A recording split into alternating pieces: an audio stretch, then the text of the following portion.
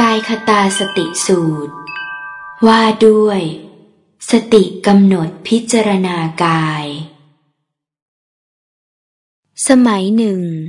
พระผู้มีพระภาค ประทับอยู่ที่พระวิหารเชตวัน อารามของอนาถปินทิกะเศรษฐี เขตพระนครสาวัตถี ครั้งนั้นแล ภิกษุมากด้วยกัน กลับจากบินทบาทภายหลังเวลาอาหารแล้ว นั่งประชุมกัน ในอุปทานศาลา เกิดข้อสนทนากันขึ้นในระหว่าง ดังนี้ว่า ดูกระท่านผู้มีอายุทั้งหลาย น่าอัศจรรย์จริง ไม่น่าเป็นไปได้เลย เท่าที่พระผู้มีพระภาคพระองค์นั้น ผู้ทรงรู้ ทรงเห็น เป็นพระอรหันตสัมมาสัมพุทธะ ตรัสกายคตาสติที่ภิกษุเจริญแล้วทำให้มากแล้ว ว่ามีผลมาก มีอนิสงส์มากนี้ ข้อสนทนากันในระหว่างของภิกษุเหล่านั้น ค้างอยู่เพียงเท่านี้แล ขณะนั้น พระผู้มีพระภาค เสด็จออกจากสถานที่ทรงหลีกเร้นอยู่ ในเวลาเย็น เสด็จเข้าไปยังอุปทานศาลานั้น ครั้นแล้ว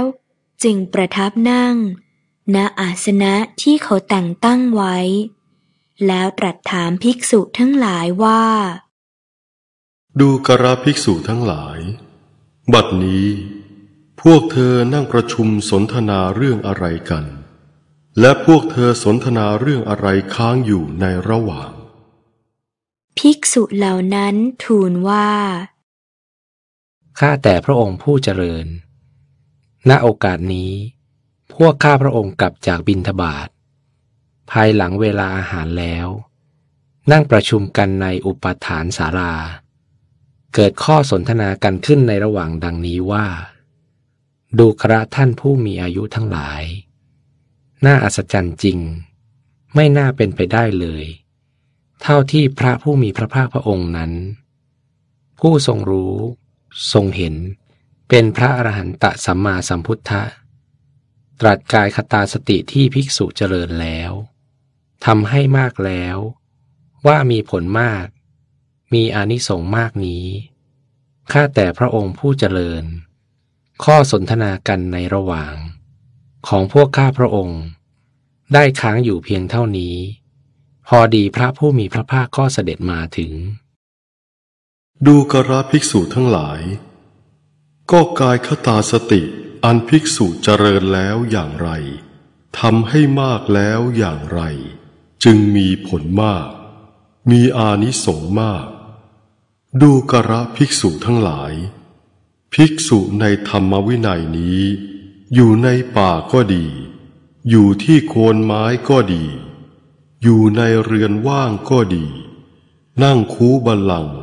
ตั้งกายตรงดำรงสติมั่นเฉพาะหน้า เธอย่อมมีสติ หายใจออก มีสติ หายใจเข้า เมื่อหายใจออกยาว ก็รู้ชัดว่า หายใจออกยาว หรือเมื่อหายใจเข้ายาว ก็รู้ชัดว่า หายใจเข้ายาว เมื่อหายใจออกสั้น ก็รู้ชัดว่า หายใจออกสั้น หรือเมื่อหายใจเข้าสั้น ก็รู้ชัดว่า หายใจเข้าสั้น สำเนียกอยู่ว่าเราจักเป็นผู้กำหนดรู้กองลมทั้งปวง หายใจออก ว่าเราจักเป็นผู้กำหนดรู้กองลมทั้งปวง หายใจเข้า สำเนียกอยู่ว่าเราจักระงับกายสังขาร หายใจออก ว่าเราจักระงับกายสังขาร หายใจเข้า เมื่อภิกษุนั้นไม่ประมาท มีความเพียรทรงตนไปในธรรมอยู่อย่างนี้ ย่อมละความดำริพล่านที่อาศัยเรือนเสียได้ เพราะละความดำริพล่านนั้นได้ จิตอันเป็นไปภายในเท่านั้น ย่อมคงที่ แน่นิ่ง เป็นธรรมเอกผุดขึ้น ตั้งมั่น ดูกระภิกษุทั้งหลาย แม้อย่างนี้ ภิกษุก็ชื่อว่าเจริญกายคตาสติ ดูกระภิกษุทั้งหลาย ประการอื่นยังมีอีก ภิกษุเดินอยู่ ก็รู้ชัดว่ากำลังเดิน หรือยืนอยู่ ก็รู้ชัดว่ากำลังยืน หรือนั่งอยู่ ก็รู้ชัดว่ากำลังนั่ง หรือนอนอยู่ ก็รู้ชัดว่ากำลังนอน หรือเธอทรงกายโดยอาการใด ๆอยู่ ก็รู้ชัดว่ากำลังทรงกายโดยอาการนั้น ๆ เมื่อภิกษุนั้นไม่ประมาท มีความเพียรส่งตนไปในธรรมอยู่อย่างนี้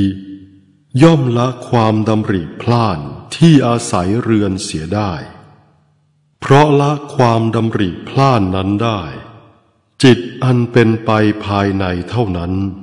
ย่อมคงที่ แน่นิ่ง เป็นธรรมเอกผุดขึ้น ตั้งมั่น ดูกระภิกษุทั้งหลาย แม้อย่างนี้ ภิกษุก็ชื่อว่าเจริญกายคตาสติ ดูกระภิกษุทั้งหลาย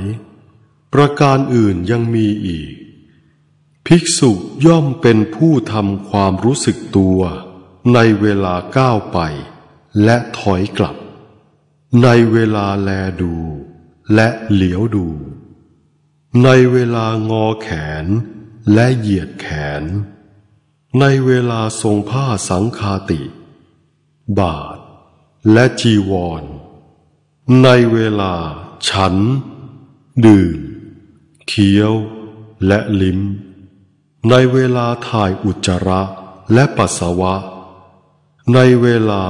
เดิน ยืน นั่ง นอนหลับ ตื่น พูด และนิ่ง เมื่อภิกษุนั้นไม่ประมาท มีความเพียรส่งตนไปในธรรมอยู่อย่างนี้ ย่อมละความดำริพล่านที่อาศัยเรือนเสียได้ เพราะละความดำริพลานนั้นได้ จิตอันเป็นไปภายในเท่านั้น ย่อมคงที่ แน่นิ่ง เป็นธรรมเอกผุดขึ้น ตั้งมั่น ดูกระภิกษุทั้งหลาย แม้อย่างนี้ ภิกษุก็ชื่อว่าเจริญกายคตาสติ ดูกระภิกษุทั้งหลาย ประการอื่นยังมีอีก ภิกษุย่อมพิจารณากายนี้แหลข้างบนแต่พื้นเท้าขึ้นไป ข้างล่างแต่ปลายผมลงมา มีหนังหุ้มอยู่โดยรอบ เต็มด้วยของไม่สะอาด มีประการต่างๆ ว่ามีอยู่ในกายนี้ ผม ขน เล็บ ฟัน หนัง เนื้อ เอ็น กระดูก เยื่อในกระดูก ม้าม หัวใจ ตับ พังผืดไต ปอด ไส้ใหญ่ ไส้น้อย อาหารใหม่ อาหารเก่า ดีสเลด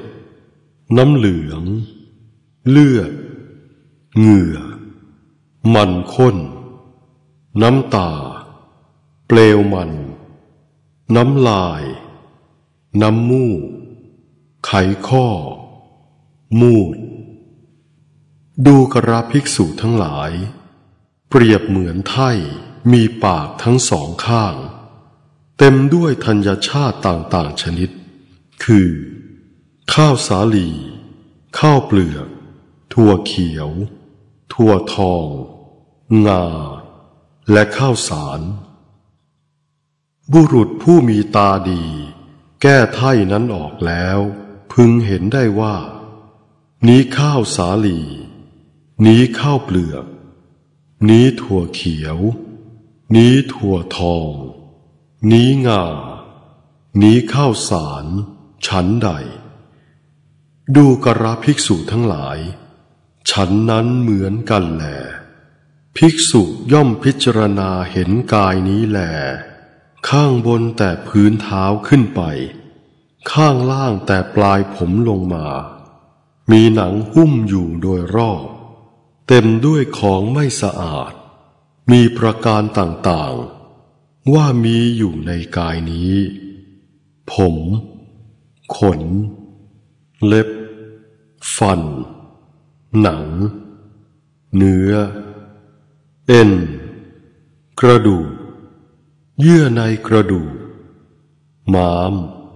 หัวใจ ตับ พังผืด ไต ปอด ไส้ใหญ่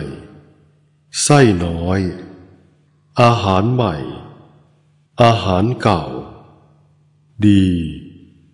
สเลด น้ำเหลือง เลือด เหงื่อ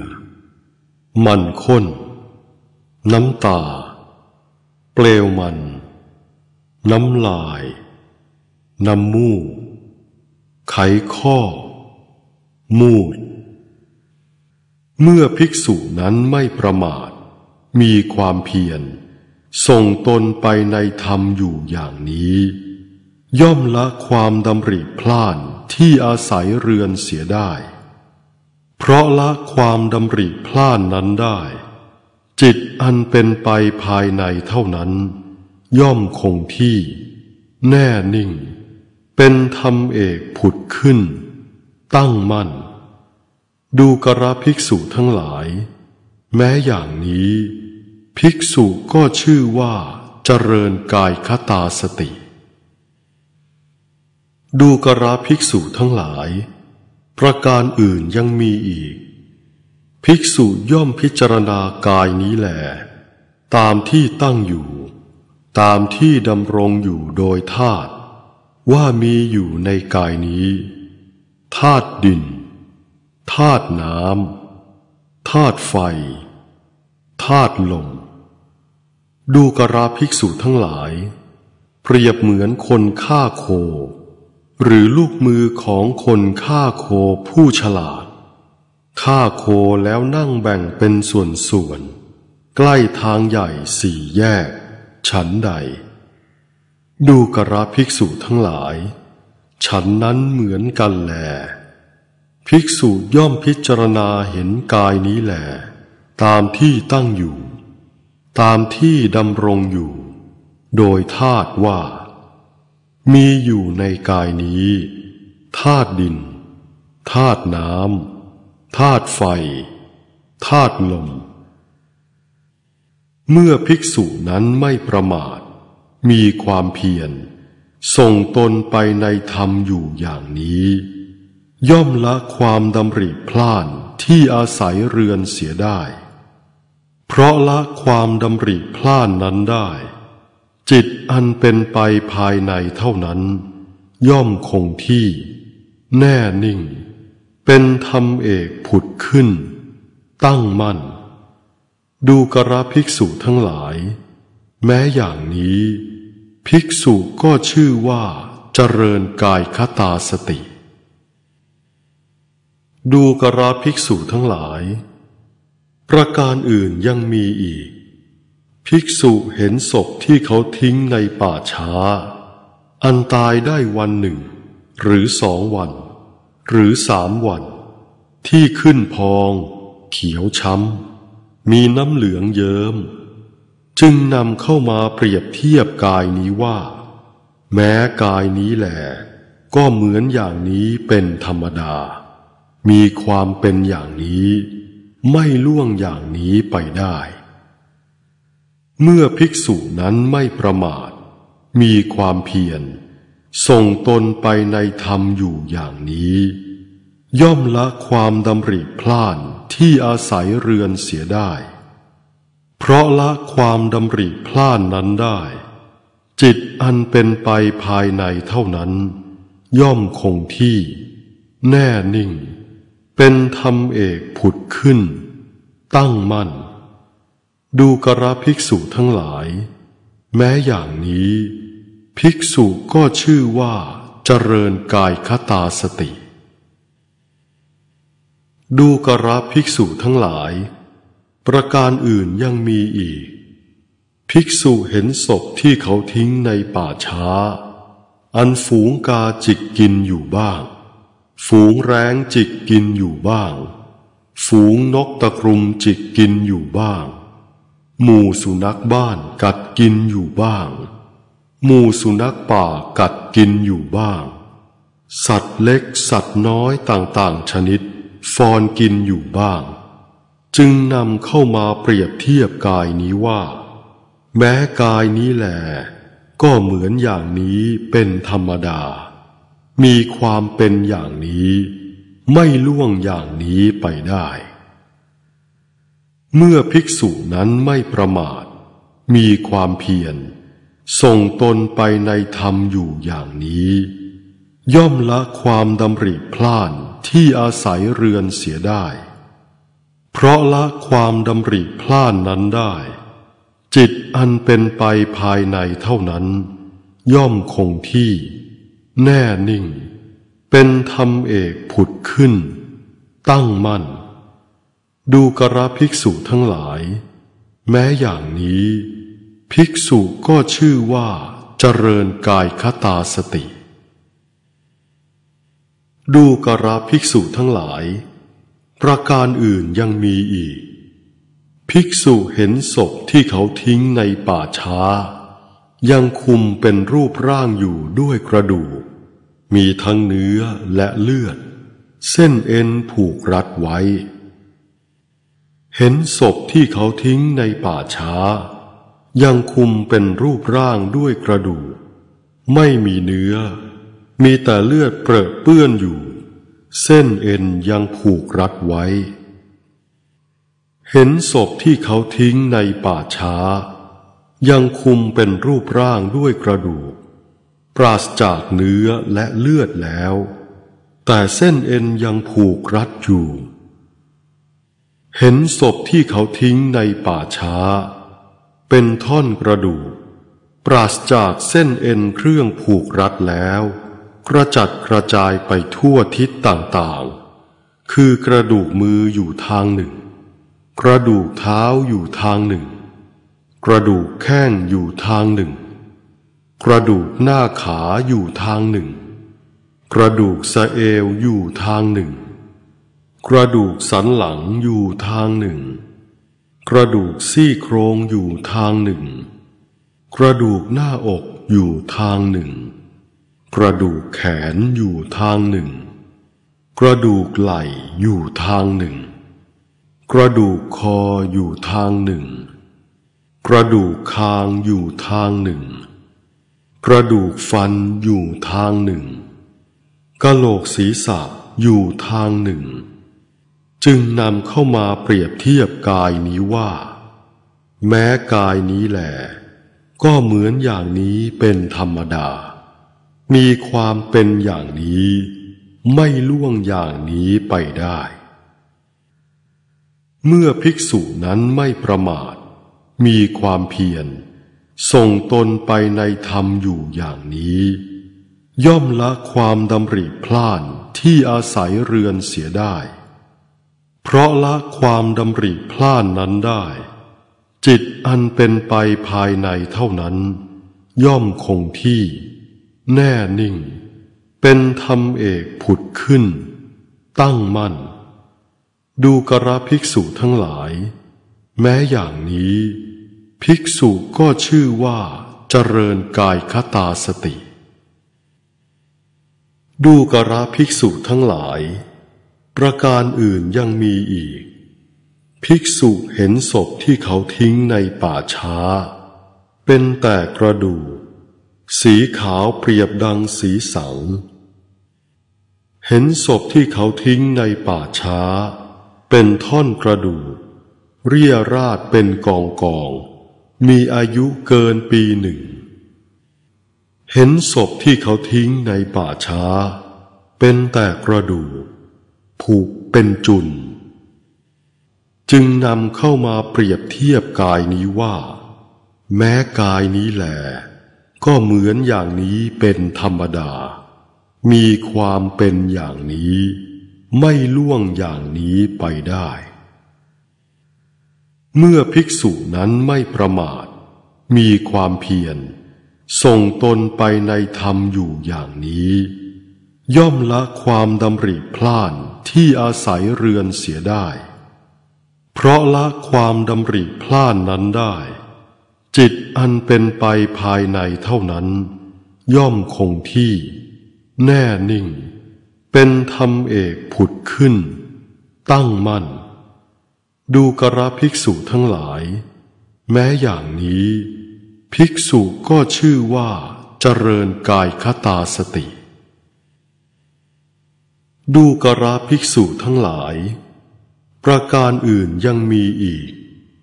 ภิกษุสงัดจากกาม สงัดจากอากุศลธรรม เข้าปฐมฌาน มีวิตก มีวิจารมีปีติ และสุขเกิดแต่วิเวกอยู่ เธอยังกายนี้แหลให้คลุก เคล้า บริบูรณ์ ทราบซ่านด้วยปีติ และสุขเกิดแต่วิเวกไม่มีเอกเทศไรไรแห่งกายทุกส่วนของเธอ ที่ปิติและสุขเกิดแต่วิเวกจะไม่ถูกต้อง ดูกระภิกษุทั้งหลาย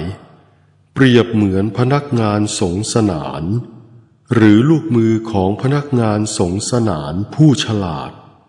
โรยจุนสำหรับสงสนานลงในภาชนะสำริดแล้ว เคล้าด้วยน้ำให้เป็นก้อนก้อน ก้อนจุนสำหรับสงสนานนั้น มียางซึม เคลือบ จึงจับกันทั้งข้างในข้างนอก และกลายเป็นผลึกด้วยยางฉันใด ดูกระภิกษุทั้งหลายฉันนั้นเหมือนกันแหล ภิกษุย่อมยังกายนี้แหลให้คลุก เคล้า บริบูรณ์ทราบซ่าน ด้วยปิติ และสุขเกิดแต่วิเวก ไม่มีเอกเทศไรไรแห่งกายทุกส่วนของเธอ ที่ปีติและสุข เกิดแต่วิเวกจะไม่ถูกต้อง เมื่อภิกษุนั้นไม่ประมาท มีความเพียรส่งตนไปในธรรมอยู่อย่างนี้ ย่อมละความดำริพล่านที่อาศัยเรือนเสียได้ เพราะละความดำริพล่านนั้นได้ จิตอันเป็นไปภายในเท่านั้น ย่อมคงที่ แน่นิ่ง เป็นธรรมเอกผุดขึ้น ตั้งมั่น ดูกระภิกษุทั้งหลาย แม้อย่างนี้ ภิกษุก็ชื่อว่าเจริญกายคตาสติ ดูกระภิกษุทั้งหลาย ประการอื่นยังมีอีก ภิกษุเข้าทุติยฌานมีความผ่องใสแห่งใจภายใน มีความเป็นธรรมเอกผุดขึ้น เพราะสงบวิตกและวิจารไม่มีวิตก ไม่มีวิจารมีปีติและสุข เกิดแต่สมาธิอยู่ เธอยังกายนี้แล ให้คลุก เคล้า บริบูรณ์ทราบซ่านด้วยปีติและสุข เกิดแต่สมาธิ ไม่มีเอกเทศไรไรแห่งกายทุกส่วนของเธอ ที่ปีติและสุข เกิดแต่สมาธิ จะไม่ถูกต้อง ดูกระภิกษุทั้งหลาย เปรียบเหมือนห่วงน้ำพุ ไม่มีทางระบายน้ำทั้งในทิศตะวันออก ทั้งในทิศตะวันตก ทั้งในทิศเหนือ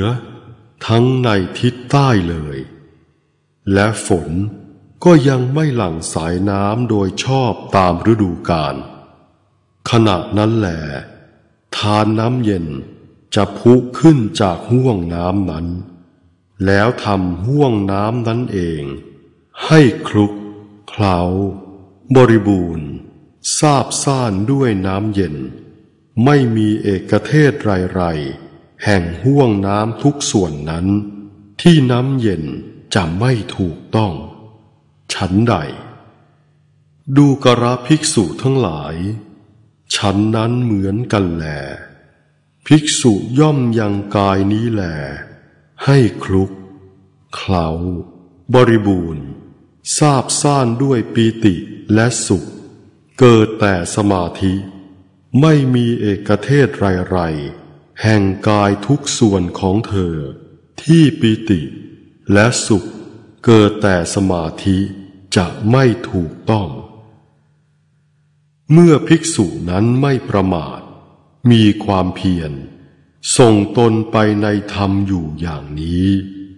ย่อมละความดำริพลานที่อาศัยเรือนเสียได้ เพราะละความดำริพลานนั้นได้ จิตอันเป็นไปภายในเท่านั้น ย่อมคงที่ แน่นิ่ง เป็นธรรมเอกผุดขึ้น ตั้งมั่น ดูกระภิกษุทั้งหลาย แม้อย่างนี้ ภิกษุก็ชื่อว่าเจริญกายคตาสติ ดูกระภิกษุทั้งหลาย ประการอื่นยังมีอีก ภิกษุเป็นผู้วางเฉย เพราะนายปีติ มีสติสัมปชัญญะอยู่ และเสวยสุขด้วยนามกาย ย่อมเข้าตติยฌานที่พระอริยะเรียกเธอได้ว่า ผู้วางเฉย มีสติ อยู่เป็นสุขอยู่ เธอยังกายนี้แหลให้คลุก เคล้า บริบูรณ์ซาบซ่านด้วยสุข ปราศจากปีติ ไม่มีเอกเทศไรๆแห่งกายทุกส่วนของเธอ ที่สุขปราศจากปีติจะไม่ถูกต้อง ดูกระภิกษุทั้งหลาย เปรียบเหมือนดอกบัวขาบ หรือดอกบัวหลวง หรือดอกบัวขาว แต่ละชนิด ในกอบัวขาบ หรือในกอบัวหลวง หรือในกอบัวขาว เกิดแล้วในน้ำเนื่องอยู่ในน้ำขึ้นตามน้ำจมอยู่ในน้ำอันน้ำเลี้ยงไว้ คลุก เคล้า บริบูรณ์ ซึมซาบด้วยน้ำเย็นจนถึงยอดและเง่า ไม่มีเอกเทศไรๆแห่งดอกบัวขาบ หรือดอกบัวหลวง หรือดอกบัวขาวทุกส่วน ที่น้ำเย็นจะไม่ถูกต้อง ฉันใด ดูกระภิกษุทั้งหลาย ฉันนั้นเหมือนกันแหละ ภิกษุย่อมยังกายนี้แหลให้คลุกเคล้าบริบูรณ์ซาบซ่านด้วยสุขปราศจากปีติ ไม่มีเอกเทศไรๆแห่งกายทุกส่วนของเธอ ที่สุขปราศจากปีติจะไม่ถูกต้อง เมื่อภิกษุนั้นไม่ประมาท มีความเพียรส่งตนไปในธรรมอยู่อย่างนี้ ย่อมละความดำริพลานที่อาศัยเรือนเสียได้ เพราะละความดำริพลานนั้นได้ จิตอันเป็นไปภายในเท่านั้น ย่อมคงที่ แน่นิ่ง เป็นธรรมเอกผุดขึ้น ตั้งมั่น ดูกระภิกษุทั้งหลาย แม้อย่างนี้ ภิกษุก็ชื่อว่าเจริญกายคตาสติ ดูกระภิกษุทั้งหลาย ประการอื่นยังมีอีก ภิกษุเข้าจตุทชาญ อันไม่มีทุกข์ ไม่มีสุข เพราะละสุข ละทุกข์ และดับโสมนัสโทมนัสก่อนก่อนได้ มีสติบริสุทธิ์ เพราะอุเบกขาอยู่ เธอย่อมเป็นผู้นั่งเอาใจอันบริสุทธิ์ผุดผ่อง แผ่ไปทั่วกายนี้แหลไม่มีเอกเทศไรๆ แห่งกายทุกส่วนของเธอ ที่ใจอันบริสุทธิ์ผุดผ่องจะไม่ถูกต้อง ดูกราภิกษุทั้งหลาย เปรียบเหมือนบุรุษ นั่งเอาผ้าขาวคลุมตลอดทั้งศีรษะ ไม่มีเอกเทศไรๆ แห่งกายทุกส่วนของบุรุษนั้น ที่ผ้าขาวจะไม่ถูกต้อง ชั้นใด ดูกระภิกษุทั้งหลาย ชั้นนั้นเหมือนกันแหลภิกษุย่อมเป็นผู้นั่งเอาใจอันบริสุทธิ์ผุดผ่อง แผ่ไปทั่วกายนี้แหลไม่มีเอกเทศไรๆแห่งกายทุกส่วนของเธอ ที่ใจอันบริสุทธิ์ผุดผ่อง จะไม่ถูกต้อง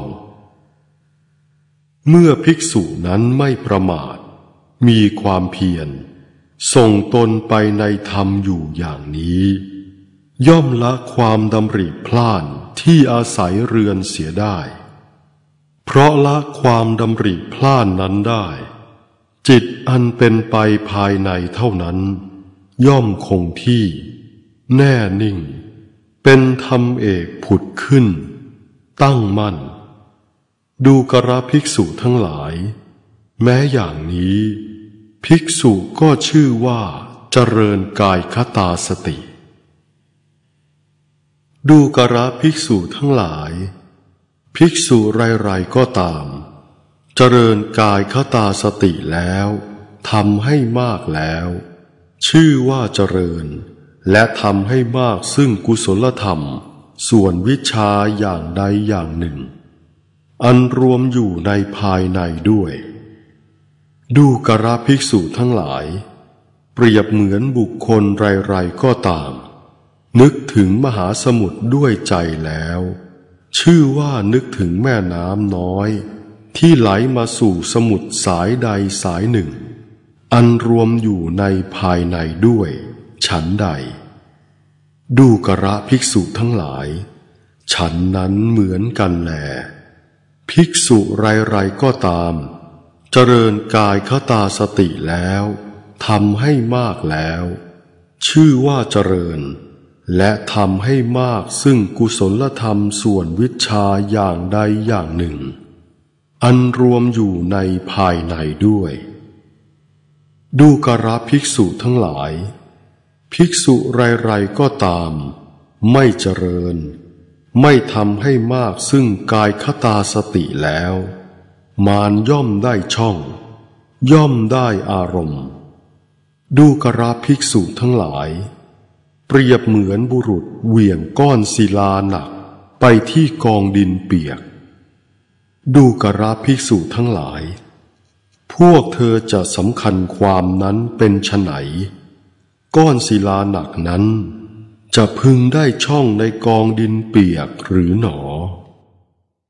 ภิกษุเหล่านั้นทูลว่า ได้พระพุทธเจ้าค่ะ ดูกระภิกษุทั้งหลาย ฉันนั้นเหมือนกันแลภิกษุไรๆก็ตาม ไม่เจริญ ไม่ทำให้มากซึ่งกายคตาสติแล้ว มารย่อมได้ช่อง ย่อมได้อารมณ์ ดูกระภิกษุทั้งหลาย เปรียบเหมือนไม้แห้งกรอบทันใดนั้น มีบุรุษมาถือเอาเป็นไม้สีไฟ ด้วยตั้งใจว่า จักก่อไฟทำเตโชธาตดูกระภิกษุทั้งหลาย พวกเธอจะสำคัญความข้อนั้นเป็นไฉนบุรุษนั้น ถือเอาไม้แห้งเกราะโน้น เป็นไม้สีไฟ แล้วสีกันไป จะพึงก่อไฟทำเตโชธาตได้หรือหนอ ได้พระพุทธเจ้าค่ะ ดูกระภิกษุทั้งหลาย ฉันนั้นเหมือนกันแลภิกษุไรๆก็ตามไม่เจริญ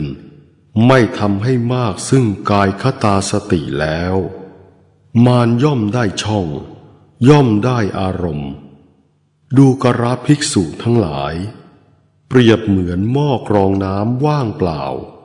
อันเขาตั้งไว้บนเครื่องรอง ทันใดนั้น มีบุรุษมาถือเอาเป็นเครื่องตักน้ำดูกราภิกษุทั้งหลาย พวกเธอจะสำคัญความข้อนั้นเป็นไฉนบุรุษนั้น จะพึงได้น้ำเก็บไว้หรือหนอ ได้พระพุทธเจ้าค่ะ ดูกราภิกษุทั้งหลาย ฉันนั้นเหมือนกันแลภิกษุไรๆก็ตาม ไม่เจริญ ไม่ทำให้มากซึ่งกายคตาสติแล้ว มารย่อมได้ช่อง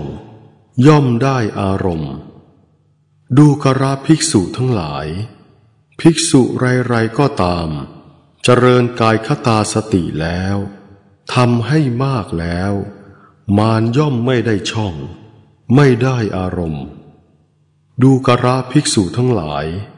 เปรียบเหมือนบุรุษโยนกลุ่มได้เบาๆ ลงบนแผ่นกระดานเรียบ อันสำเร็จด้วยไม้แก่นล้วน ดูกราภิกษุทั้งหลาย พวกเธอจะสำคัญความข้อนั้นเป็นไฉนกลุ่มได้เบาๆนั้น จะพึงได้ช่องบนแผ่นกระดานเรียบ อันสำเร็จด้วยไม้แก่นล้วนหรือหนอ ไม่ได้เลยพระพุทธเจ้าค่ะ ดูกราภิกษุทั้งหลาย ฉันนั้นเหมือนกันแล ภิกษุไรๆก็ตามเจริญกายคตาสติแล้ว ทำให้มากแล้ว มารย่อมไม่ได้ช่อง ไม่ได้อารมณ์ ดูกราภิกษุทั้งหลาย เปรียบเหมือนไม้สดมียาง ทันใดนั้น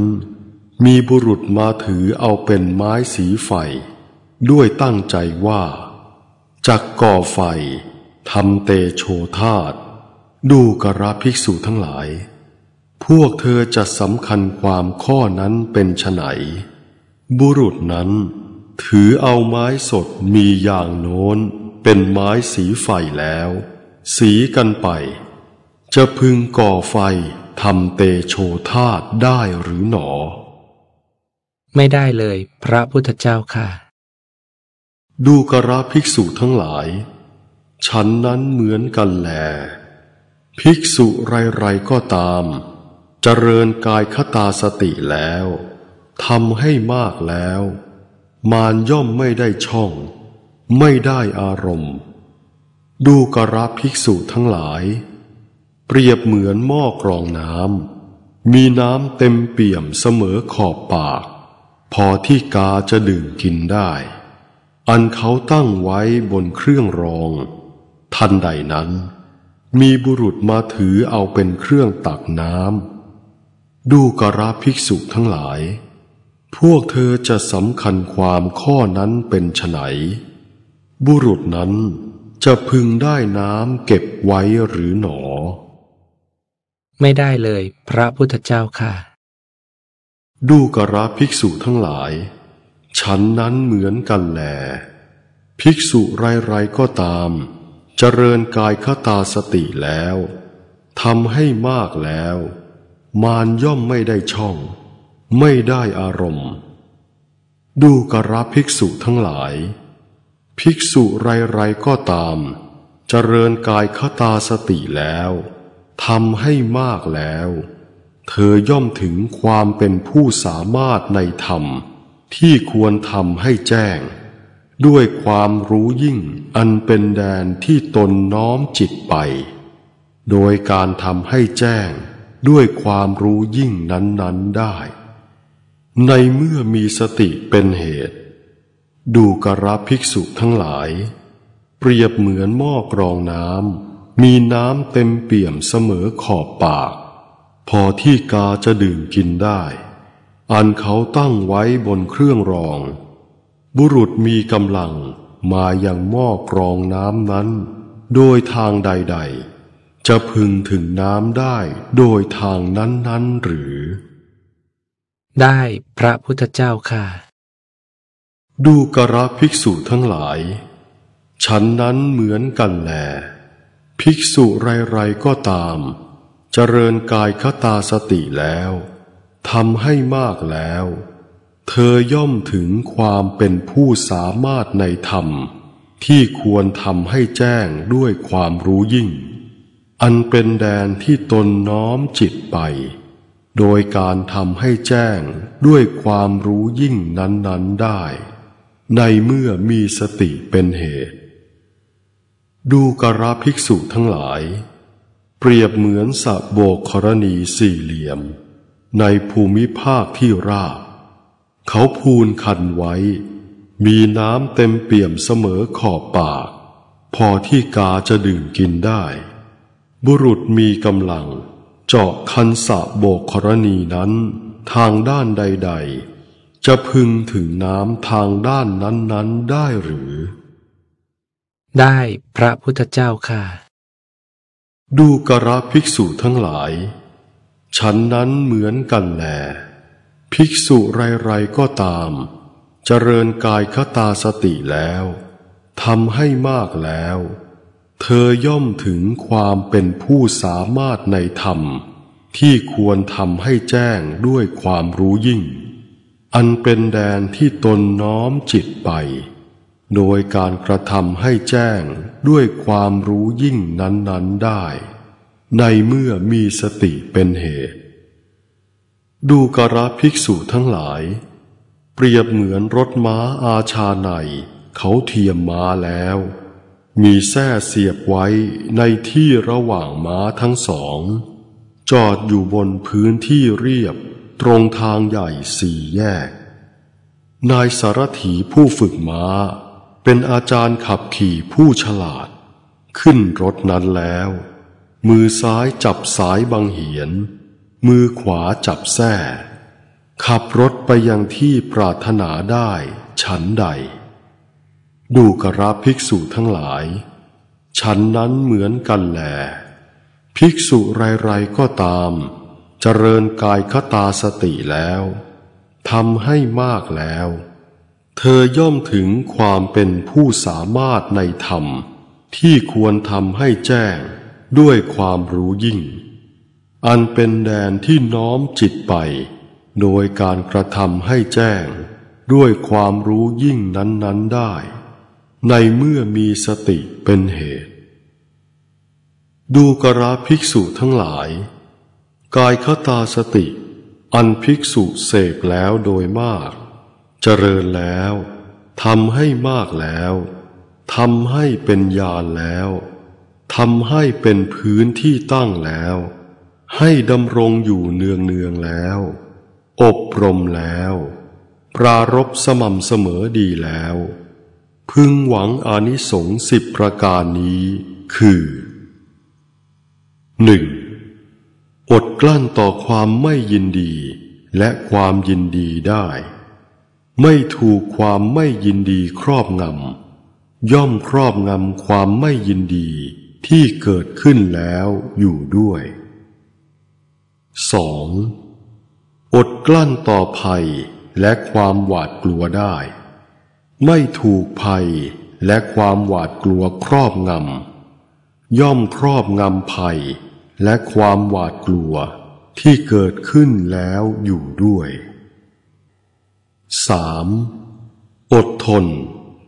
คือเป็นผู้มีปกติอดกลั้นต่อความหนาว ความร้อน ความหิว ความกระหาย ต่อสัมผัสแห่งเหลือบ ยุง ลม แดด และสัตว์เสือคลาน ต่อทำนองคำพูดที่กล่าวร้าย ใส่ร้าย ต่อเวทนาประจำสรีระที่เกิดขึ้นแล้ว อันเป็นทุกข์กล้า เจ็บแสบ ไม่ใช่ความสำราญ ไม่เป็นที่ชอบใจ พอจะสังหารชีวิตได้ 4. เป็นผู้ได้ฌานสี่อันเกิดมีใน มหคตจิต เครื่องอยู่สบายในปัจจุบันตามความปรารถนา ไม่ยากไม่ลำบาก 5. ย่อมแสดงฤทธิ์ได้เป็นอเนกประการ คือ คนเดียวเป็นหลายคนก็ได้ หลายคนเป็นคนเดียวก็ได้ ปรากฏตัว หรือหายตัวไปนอกฝา นอกกำแพง นอกภูเขาได้ไม่ติดขัด เหมือนไปในที่ว่างก็ได้ทำการผุดขึ้นและดำลงในแผ่นดิน เหมือนในน้ำก็ได้ เดินบนน้ำไม่แตก เหมือนเดินบนแผ่นดินก็ได้เหาะไปในอากาศ โดยบัลลังก์เหมือนนกก็ได้ ลูกคลำพระจันทร์และพระอาทิตย์ ซึ่งมีฤทธิ์มีอนุภาพมากปานชนีด้วยฝ่ามือก็ได้ ใช้อำนาจทางกายไปจนถึงพรหมโลกก็ได้ 6. ย่อมฟังเสียงทั้งสอง คือเสียงทิพย์และเสียงมนุษย์ ทั้งที่ไกลและที่ใกล้ได้ด้วยทิพยโสธาต อันบริสุทธิ์ล่วงโสดของมนุษย์ 7. ย่อมกำหนดรู้ใจของสัตว์อื่น และบุคคลอื่นได้ด้วยใจ คือ จิตมีราคะ ก็รู้ว่าจิตมีราคะ หรือจิตปราศจากราคะ ก็รู้ว่าจิตปราศจากราคะ จิตมีโทสะ ก็รู้ว่าจิตมีโทสะ หรือจิตปราศจากโทสะ